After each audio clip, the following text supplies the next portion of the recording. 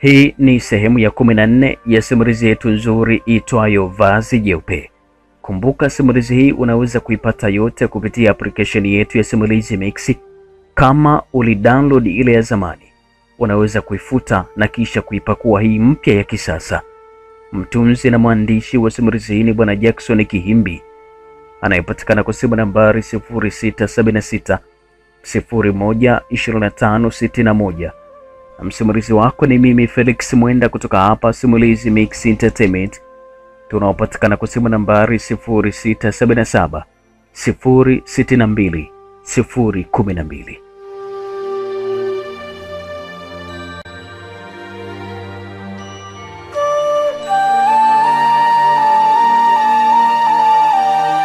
Sehemu ya 13. Kama kumbukumbu nzuri, tuliisha pale ambapo nilikuwa nimepanda mlimani kwa ajili ya kukikwarua kabisa kile kinyago, na moja kati ya masharti ilikuwa ni lazima nitoe nguo zangu zote nibaki utupu. Kilichoendelea chote kiko hapa, cha kufanya karibu sana sana katika sehemu hii ya kumi na nne.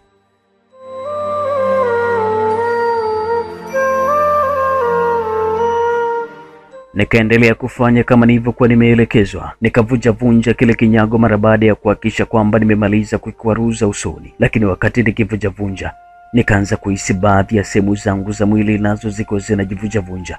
Nikawa napata maumivu makali sana nilipokuwa nafanya lile tukio. Nilitamani kuacha, lakini sikuwa na haja ya kuacha. Nikaendelea kuvunja vunja, hatimaye nikamaliza kila kitu na kuishiwa nguvu kabisa. Nikalegea pale pale, miguu haikuweza kabisa kusogea popote na wala mikono pia haikuwa na uwezo wa kufanya lolote lile. Nilikuwa goigoi tu, jicho likanitoka huku mwili ukiwa unatetemeka kwa spidi ya ajabu. Nilipotazama kule chini, nikaona yule majini walikuwa wanakuja huku akiwa wamemkamata Sharifa. Walikuwa na spidi kubwa mno wakija kwangu, walikuwa wanakuja upande wangu wale majini. Tuba, chukua vitupe chini hivyo vitu fanya haraka, utakufa. Sharifa kanikazania ile jambo. Sio kama nilikuwa sitaki kufanya vile, lakini mwili wangu haukuweza kabisa kuruhusu jambo lile. Sikuwa na uwezo wote kabisa, nguvu nilikuwa sina. Nikajikakamua, lakini wapi. Hatimaye nikakubali kwamba bora nife tu, kwa maana nilikuwa nimeshindwa kabisa kuamka. Nikakata tamaa kabisa na kisha kufunika macho yangu nikiamini kwamba mwisho wa maisha yangu ni ukute nikiwa juu ya mlima ule wa mawe. Wale majini hawakuwa na shida na uongozi wangu tena bali walitaka kuniangamiza tu, kwa sababu nilikuwa nimekataa kabisa kuwasikiliza tangu mwanzo. Kwa hivyo wakaona kama nilikuwa ni msumbufu wa hali ya juu mno.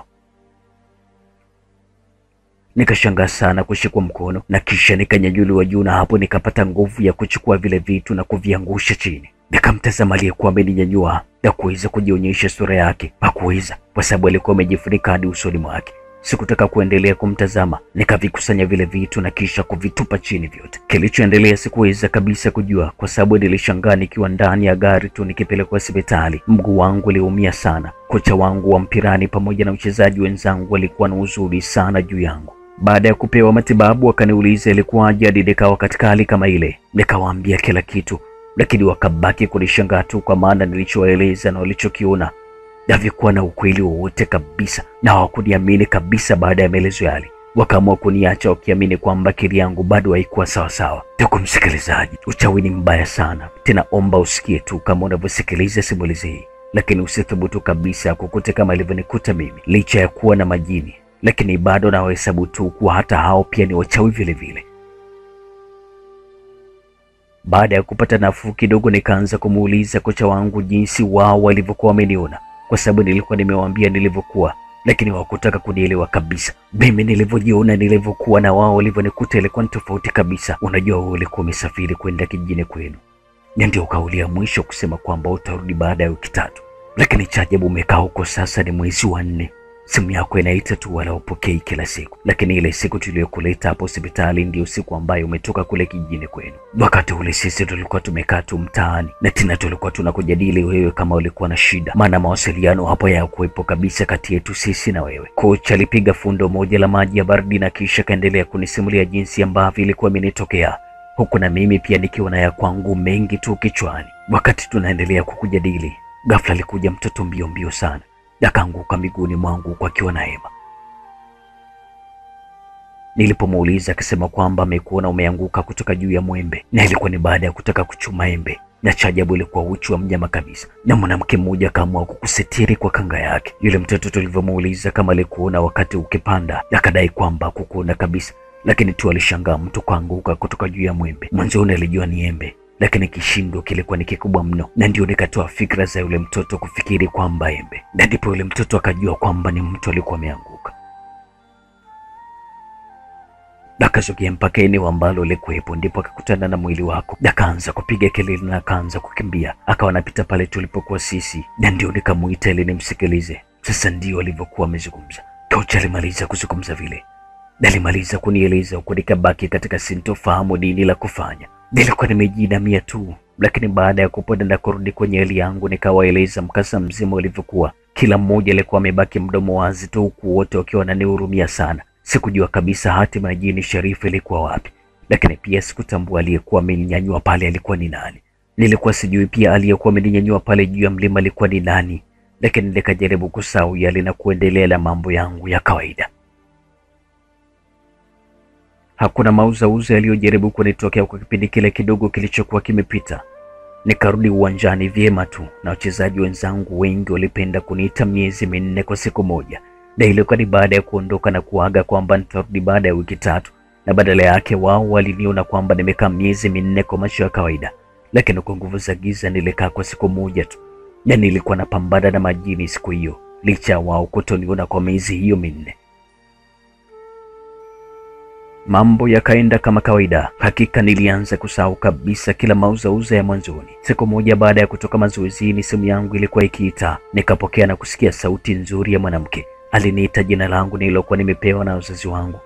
Yule mwanamke ya kujitambulisha, lakini ilikuwa nahitaji kuonana na mimi. Alikuwa nataka tuonane tena mapema kwa haraka haraka sana. Alitaka tuonane usiku tena, iwe ndani na taa zisiweze kuwashwa hata kidogo. Sikujua kabisa nini alikuwa anamaanisha, lakini nikakubali kwa sababu nilijua fika kwamba atakuwa ni mpenzi wangu Ana, ambaye mara nyingi alikuwa akipenda sana kunifanyia surprise mara kwa mara. Akanielekeza hoteli ya kwenda kukutana. Haikuwa mbali na pale nilipokuwa naishi. Akapanga muda na siku ili tuweze kukutana, na baada ya pale nikakata simu, nikabaki nikijichekea tu kwamba watoto wa Gitikali bwana bwana, tabu sana bwana bano mpaka basi. Jana alikuwa ni mtoto wa geti kali sana, kwa hivyo mimi kuonana naye ilikuwa ni mara chache sana, na mara nyingi huwa anakuwa na mama yake, kwa hivyo tunaishia kuongea kwenye simu tu. Tulikuwa tunaishia kuzungumza kwenye simu licha ya kukutana mara moja, lakini kila dakika nilikuwa nikimisi sana mpenzi wangu Ana. Nikaamua kupiga kwenye namba yake ya kawaida, wala haikuwa imepatikana. Nilikuwa ni jambo muhimu sana, nikataka kumuuliza. Nikapiga pia kwenye ile namba aliyokuwa amenipigia kwa sababu haikuwa namba yake, lakini pia hakuweza kupatikana. Nikabaki najilaumu sana, nitamuuliza nani? Lengo langu kuwa nitaka kumuuliza Neva mtindo gani ambao utamfanya furahia atakaponiona, lakini hiyo ilishindikana kabisa. Siku iliyofuata ndio ikawa siku ya makutano yetu. Nikafika mapema kabisa pale tulipokuwa tumeahidiana, lakini nikapiga muda wote, laini zake zote zilikuwa zipatikani Nikaanza kuumiza sana kichwa na nikaanza kumgoja, nikasubiri sana natumai mpaka saa sita mtu wa kuweza kabisa kuonekana. Nikaanza kuingia hofu kwa sababu sikuwa hata na shilingi mfukoni. Nilikuwa nimezoea yeye ndio alikuwa ananilipia. Sasa nimekata chumba alafu mtu aonekani. Nikaanza kupiga mahesabu kesho namna gani ya kutoka pale chumbani. Chumba kilikuwa na giza jingi sana, kwa sababu alikuwa ameniambia kwamba nisiwashe taa pindi atakapoingia mle ndani. Ghafla mlango wa bafuni ukafunguliwa, nikataka kuwasha taa, akakataa. Alikataa kabisa alikataa kabisa nisiwashe taa akidai kwamba yuko mtupu na sitakiwi kabisa kumwona kwa ule wakati mpaka amue yeye mwenyewe kunionyesha. Akanisihi ninyanyuke nikaoge, na baada ya kuoga nirudi pale chumbani, ndiyo nitahitajika kuwasha ile taa. Najuta sana kuamini kisichoaminika, lakini kwa namna yoyote ile, hata kama ingekuwa ni wewe, imani kama yangu ungekuwa nayo, iwe isiwe.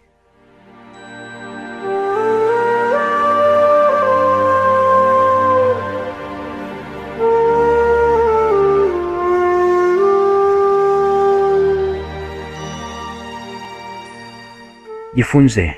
Kuna watu wengine hufikiri kwamba kila anachofikiria ni makosa ama sio makosa. Kikubwa tu uwe na uhakika na kile unachofikiria wewe mwenyewe. Naam, Na huu ndio mwisho wa sehemu hii ya kumi na nne ya simulizi yetu nzuri itwayo Vazi Jeupe. Kilichoendelea tukutane katika sehemu ya kumi na tano.